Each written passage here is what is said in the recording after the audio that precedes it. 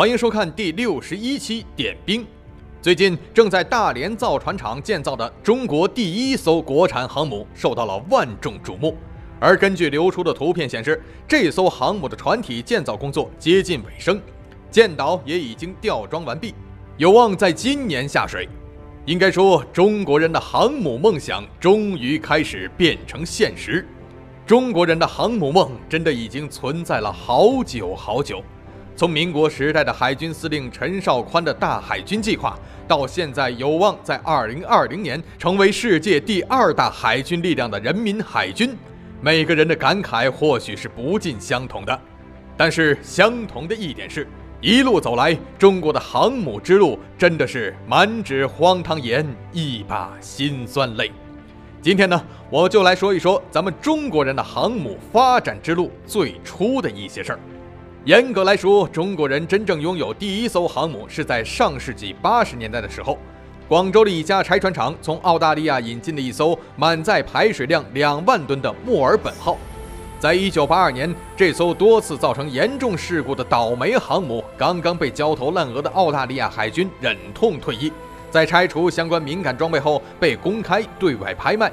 这艘船最终被中国的一家拆船厂拍得。而卖方在得知买主是中国之后，在交易合同中特意加上了买方不得用于军事用途的条款。要知道，墨尔本号在拍卖之前就已经自废武功，拆除了相关的敏感武器装备，在这样的情况下，还在交易合同中加上了这种侮辱性的条款。二十世纪八十年代，那是啥时候？那正是中国与西方国家关系最好的蜜月期的时候。在这种背景下，澳大利亚作为西方国家的一员，对中国人还是采用如此明显的歧视性政策。从中我们就明白了一点：永远不要指望西方国家正常看待对中国的军事建设。中国军工的任何进步都会成为炒作中国威胁论的噱头。上世纪八十年代，中国的经济情况并不怎么好。海军虽然渴望更新更强大的战舰，但是由于干干瘪瘪的荷包，只能在纸面上规划规划，外外一下未来罢了。乍一听，广州有一家拆船厂引进了一艘退役的航母，准备拆解用于冶炼钢材，人民海军的装备研究单位的人员们顿时十分激动，当即组织了由三十名科研人员组成的考察团队来到了船厂，希望能够上船测绘考察一下。当时已经开始进行市场经济改革，海军科研人员进驻舰上考察研究，必然延误拆船、炼钢、钢材交付、资金回收等一系列工作日程，会对拆船厂的运营造成很大影响。所幸拆船厂的法人代表是一位在人民海军服役过的退伍老兵，深明大义，向上级领导申请给海军专家们预留了一段时间。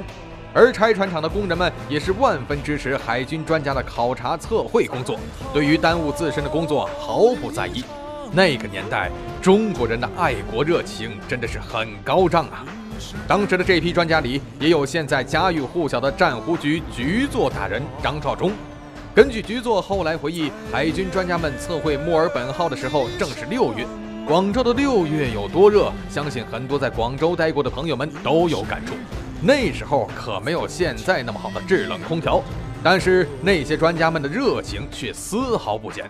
都主动申请延长调研时间，住进附近闷热的简陋工棚，一个一个舱室进行测绘。除了闷热之外，海军专家们还面临着很大的风险，在高温的环境下进入完全没有动力和电力的几万吨的船体内部考察研究是十分危险的，极易发生事故。就是在这样的艰苦条件下，海军专家们提前完成了测绘工作。某些外媒说，墨尔本号航母对中国的航母建设提供了哪些哪些关键技术，那纯粹是无稽之谈，也是在刻意侮辱中国人的智商。墨尔本号的作用只是在于让中国人第一次真正认识航母，了解航母的基本原理，对中国人的航母意识有一定的启蒙作用。墨尔本号航母是二战时期建造的航母，虽然经过多次改造，但整体科技水平也只有二十世纪六十年代的水平。对中国现在的航母建设的注意，并没有那些外媒说的那么大。而现在的中国第一艘国产航母即将下水，这是一艘五到六万吨排水量、搭载重型固定翼战斗机的大型航母，相关的舰载电子设备也较为先进。最重要的是，这艘航母的每一个零部件都是中国人自己建造的，再也不会受到外国的限制。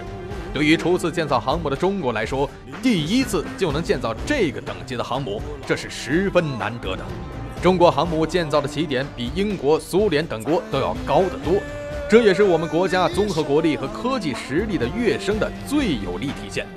说到这儿，我又忍不住想黑印度阿三一下。正在建造的首艘国产航母的大连造船厂，用了一年多的时间就完成了航母主要舰体建造工作，有望于二零一八年完工。而印度首艘万国牌的国产航母维克兰特号航母，自从二零零六年开工建造至今，先后下水三次，到现在为止却还是个空壳舰体。乐观估计，可能会在二零二二年完工。中国造船工业用一年多的时间完成了比印度造船工业十年都没有完成的事情，我真搞不清楚三哥对中国那种莫名其妙的优越感是从何而来的。民国时期的海军司令陈绍宽的大海军计划，到永远的海军司令萧劲光大将的我们一定要建设现代化的强大海军。再到中国现代海军之父与中国航母之父刘华清上将的“中国不发展航母，我死不瞑目”，始终不变的是华夏民族对于神州大地之东的那片辽阔无尽的蓝色世界的美好憧憬，以及渴望摆脱近代以来所承受的无尽苦难与沧桑的强烈向往。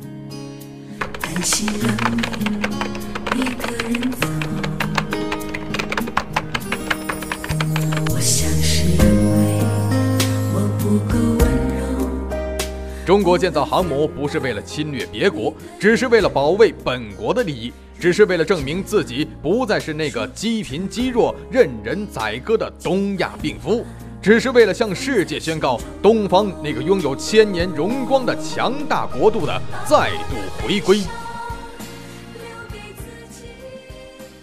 请在微信上搜索“每日点兵”，关注我的微信号。原创不易啊！各位看官就是我的衣食父母。打开微信，扫描屏幕上方的二维码，无论你有什么想说的、想问的、想吐槽的、想了解的，都可以与我交流。您的关注就是我前进最大的动力，谢谢。